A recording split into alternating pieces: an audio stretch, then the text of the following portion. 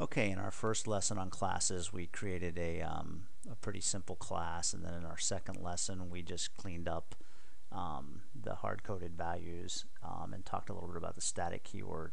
And so in this class, I just want to, in, uh, in this lesson, I just want to make this class a little bit more useful. Um, uh, you know, always having to pass in nanoseconds. Maybe you don't, your particular application, you don't even care about nanoseconds.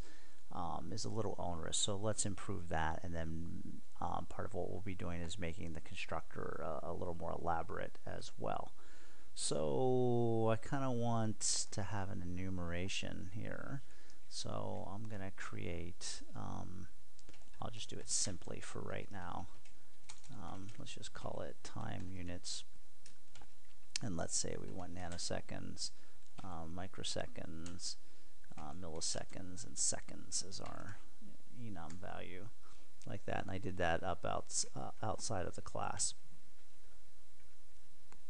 Um, and then what I'm going to do is inside the class I'm going to take a value and I'm going to take um, the enumeration value. Um, I'm going to take a time units and uh, and let's just call that the units so that you can specify the, the time in any units you want.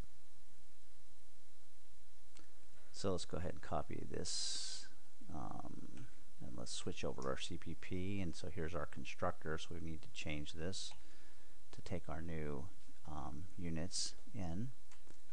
And um, probably if I save again you'll know a little bit about what we're doing.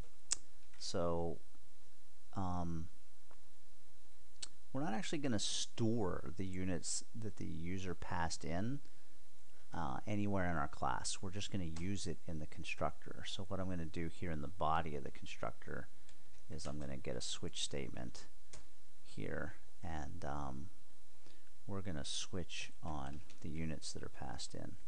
Okay, and then we're going to we're going to do the proper conversion here so that uh, when this is nanoseconds um, we will we will set this is pretty trivial um, our time in nanoseconds is just value again.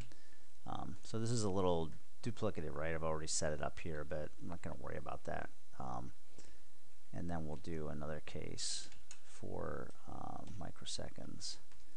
And we'll say the time in nanoseconds um, got my syntax wrong, I guess. I put the colon. So type ahead kind of breaks whenever you have an error here. Okay, so now time in seconds is going to be the value. Remember we were dividing before, so now we want to multiply, right? Nanoseconds. And then you can see why you don't want to hard code the values. So now if I ever had something wrong or needed to make a change, let's put the break keyword here, and then I'll put the other cases in. So there are, are other cases. Um, and it's always a good idea to put something in the default. So what are we going to do if somehow they manage to pass us in units that we're not expecting? Uh, maybe they think we support picoseconds and they pass in PS. So let's um, let's just include the assert library. Um, and let's just assert here if that happens. It's a programming error. Um, and so we just say assert always. So assert false if we ever end up in this case down here.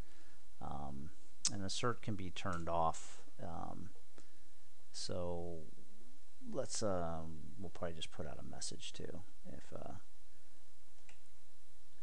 um, when, assert typically only does something in debug mode. Um, so when you're not in debug mode, it doesn't do anything. And by debug mode, I, I, mean when you've compiled in that mode, not when you're running in, in the debugger. So, um, so if we're going to use cout, then we need to have include iostream. So all those standard things we do, we can do with classes. None of that changes. Um, so we can say, okay. So it looks like I still have something that doesn't like about assert. Let me just see if this will compile. It does. Okay. So now we have a little bit of code in our constructor. So now where we're using this will not be correct because it wants two parameters, right? And since we're including those units, so now we can say, so now that's specified in nanoseconds. And then nothing changes and this all should still work. Oh, that's interesting. Popped up since I didn't have it showing. Um, so, um, but now I can do something like, like say, oh, I want to specify this in milliseconds. Okay, so now I'm telling it I want a billion milliseconds. So when I run this again, so now we can see we get 1 to the 15th uh, nanoseconds, you know, 1 to the 12th microseconds, and now, um, so, um, and of course we should have probably put out our units in our cout here, but you can see we've got a, um, a million uh, seconds now, so a billion milliseconds is a million seconds. Okay, so now if we, you know, just might make it easier for our code to, you know, if we wanted to do one second, that's all we have to do. Instead of saying 1 e to the ninth, we can just say one second now. Okay, so that's probably uh, about as far as I want to take this particular uh, class.